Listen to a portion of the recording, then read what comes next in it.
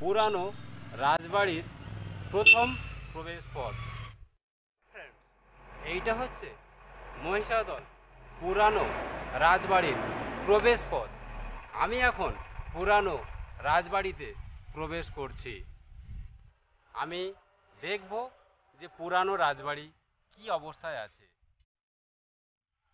My friends ষোড়শ শতাব্দীর মাঝামাঝি সময়ে উত্তর ভারতের যুক্ত প্রদেশ থেকে বয়ে আসা উত্তুরে হাওয়া বজ্রার পালে লেগে দক্ষিণবঙ্গের অবিভক্ত মেদিনীপুর জেলার রূপনারায়ণ ও গঙ্গার মিলনস্থলের সন্নিকটে গঙ্গার দক্ষিণ পাড়ে এসে ভিড়ল। জায়গাটির নাম জীবনখালি, যার বর্তমান নাম গেঁওখালি।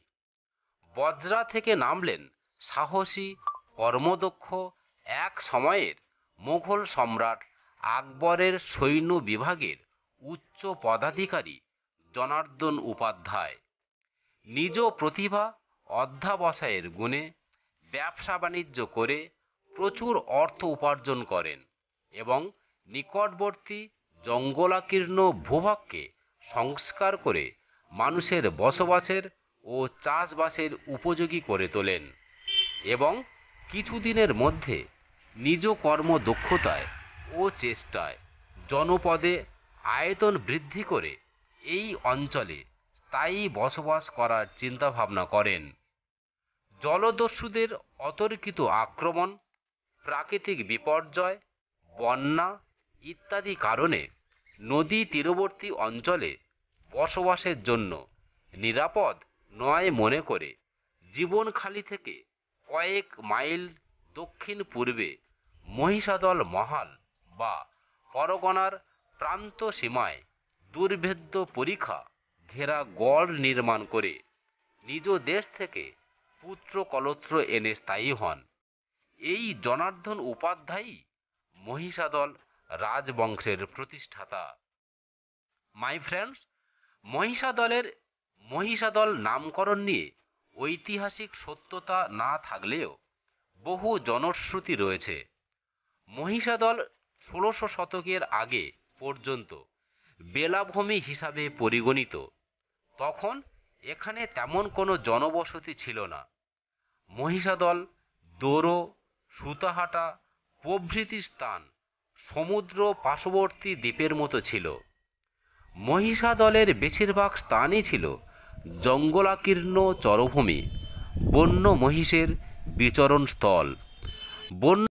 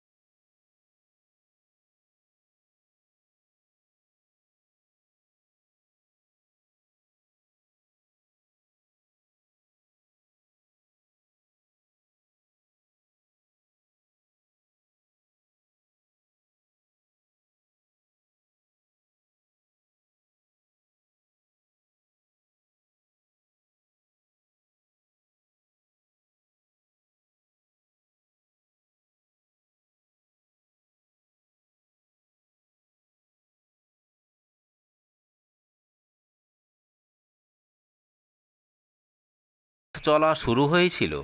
বহু উত্থান পথনের মধ্য দিয়ে সে রাজবংশ বিংশ শতাব্দীতে এসে পৌঁছেছে।